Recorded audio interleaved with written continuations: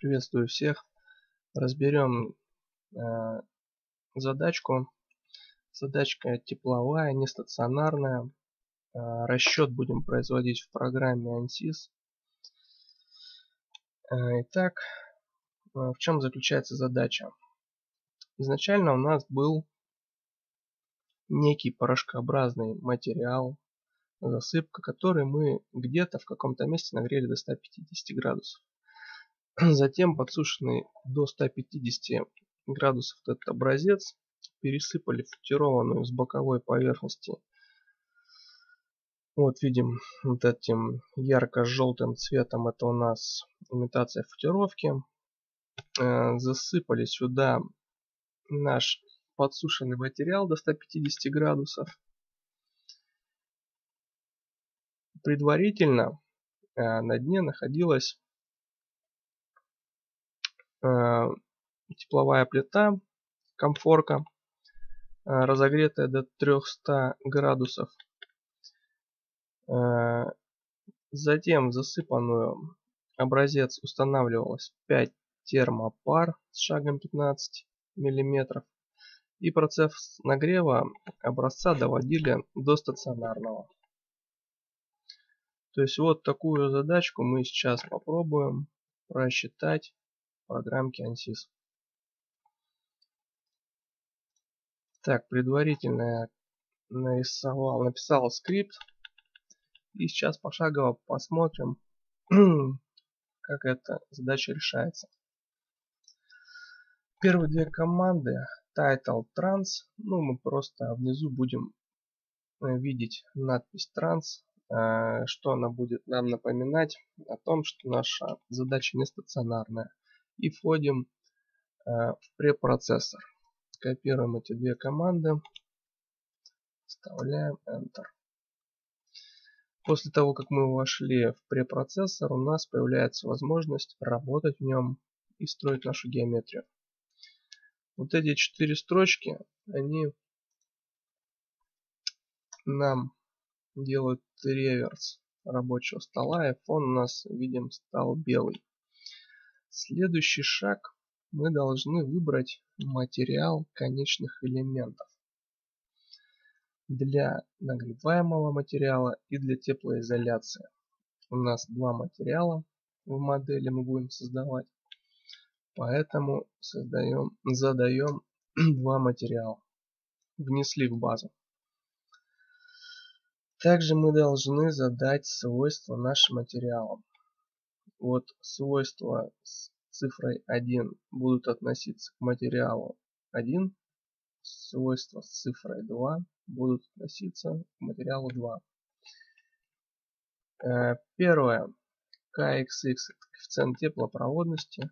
То есть у нашего материала коэффициент теплопроводности 0,4. Плотность 1200. Теплоемкость 800. Соответственно, у изоляции у нее коэффициент теплопроводности меньше, чем у нашего материала 8 сотых. Плотность побольше 1560 и теплоплой, теплоемкость у нее чуть побольше 840. Вот эти свойства мы копируем, вставляем, все внесли. Создаем нашу модель создали. У нас задача оси симметричная, поэтому мы будем ее решать двухмерной постановки и э, решать будем половину задачи. Ответную половину смысла нет решать, так как задача, повторюсь, у нас оси симметричная. Так, вот этими командами мы склеиваем наши поверхности. А вот этой командой нам CMP area и нам CMP line мы просто э, назначаем нумерацию заново нашим площадям и линиям это можно делать, можно не делать. Ну, я это делаю потому, чтобы нумерация не имела пробельных элементов. То есть иногда, когда вы сделали какую-то операцию, там удалили что-то, у вас э, вот эти линии, они как бы выпали уже из модели и не используются. И поэтому у вас нумерации есть разрыв вот такой. Чтобы ее исключить, мы должны заново перенумеровать площади и линии. Вот этим самым мы и сделали. Так, выбираем, э, ну вот смотрим. Так, вот этой командой мы говорим, что мы хотим видеть порядковые номера площади и линии. Такие. Ну, площадь 1 у нас наша засыпка, площадь 2 это наша футировка. Выбираем нашу площадь 1 и ей с помощью команды AATT назначаем от единицы это конечный элемент 1 и единица это свойство. Вот все, что с единицей, это будет назначено ей. Так, заносим. Все, наши свойства и конечный элемент присвоились вот этой модельке. И также само делаем со второй площадью, назначаем ей наши свойства. Назначили. Так, дальше. Следующим шагом нам нужно наложить сетку. Предварительно мы все наши линии бьем на величину 3 миллиметра. Вот видно, что все наши линии, они такими стали штрих-пунктирными линиями, что говорит, что мы сделали разбивку наших линий. И дальше идет вот этот блок команд. Мы накладываем сетку.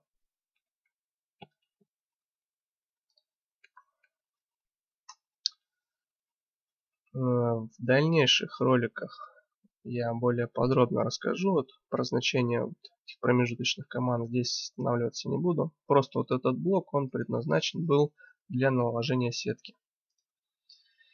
И теперь переходим к препроцессору Solution.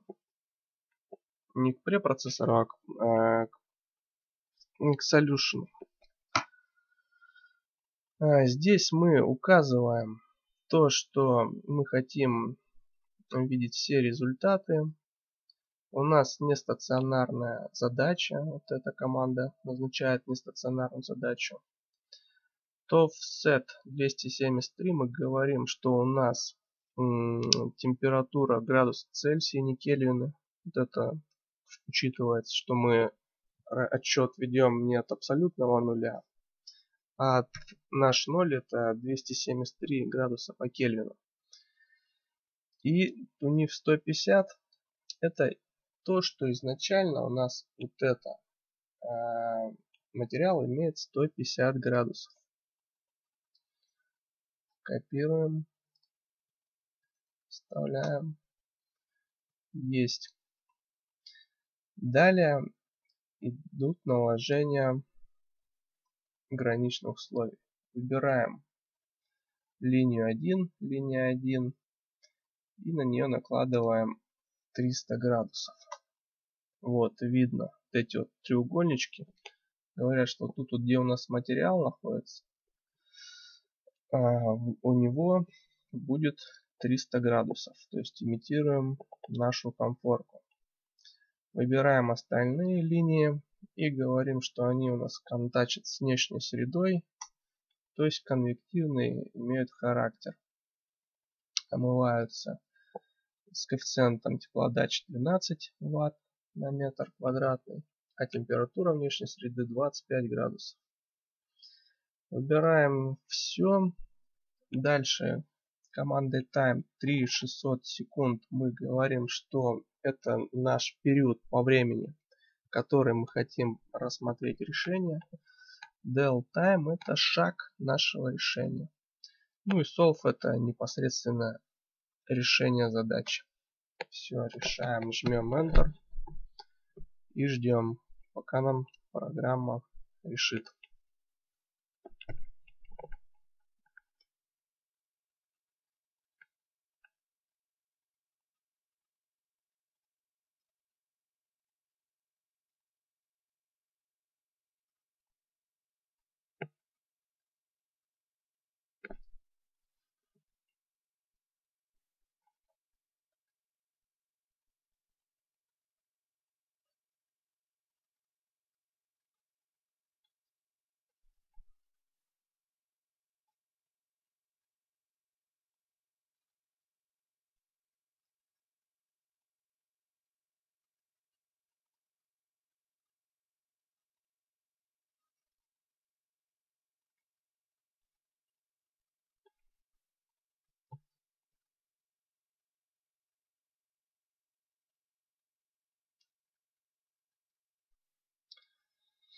Так, всплывающее окно Solutions Done свидетельствует о том, что э, безошибочно у нас э, осуществился расчет нашей модели.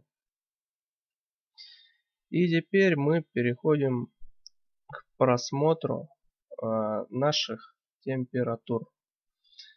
Здесь вот, э, вот этот блок команд, тоже поговорим э, про команды nsol, plvar, как-нибудь в отдельных э, роликах. Здесь что могу сказать? Вот если на модель мы начнем смотреть точки, так, хотим видеть нумерацию точек, вот, то вот наша ось, и вот, вот видим, Здесь вот у нас находится точка 1. Вот точка 1. Потом идет точка 110. И потом пошел вот с шагом 106. Это те точки, где у нас по эксперименту должны находиться термопары. 106.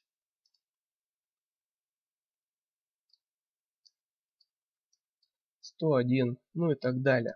То есть мы их вносим как бы в базу и PLR вот по вот этим вот нумерации.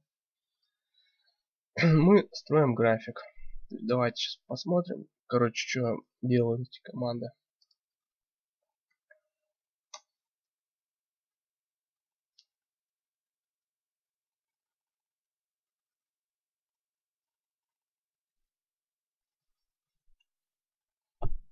Вот смотрим. Э, по цвету ориентируемся вот по нашей данным, вот каким, какому цвету соответствует какая температура. И вот здесь видно, что какому узлу был присвоен ну, та или иная температура. В общем, легенда. И по этой легенде видно, что ну, чем ближе температура, э, чем ближе точка была к источнику нагрева, тем быстрее она уходила на стационарную, на стационарное значение. И вот по графику нам нужно было, то есть э, цель расчета, смысл, нам нужно было определить время, когда установка наша нагрева приобретает стационарный характер. Ну и вот по графику вот сами можете оценить, когда у нас наступает стационарный момент. Ну, грубо говоря, вот 2000 секунд. Так, 2000 секунд, ну это... Что там получается?